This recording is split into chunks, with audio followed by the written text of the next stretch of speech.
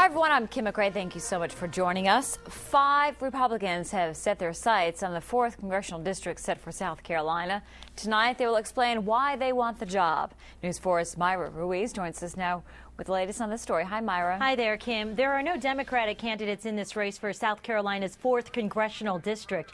Incumbent Bob Inglis of Travelers Rest has served a total of six terms, though not consecutively, in this U.S. House seat. He'll debate his fellow Republicans at the Fountain Inn Civic Center tonight. That includes 7th Circuit Solicitor Trey Gowdy of Spartanburg, State Senator David Thomas of Fountain Inn, Spartanburg Professor Christina Jeffrey, and Mauldin businessman Jim Lee and I hope the candidates will come and talk about how they're going to, what they can do to help small towns and help the people of South Carolina with specific, specific projects that they can deliver. The public is also invited to attend tonight's debate with candidates for South Carolina's 4th Congressional District once again. It takes, pl takes place at the Fountain Inn Civic Center. That's on North Main Street in Fountain Inn. The debate starts at 7.30. Myra Ruiz, WYFF News 4, live in the Greenville newsroom.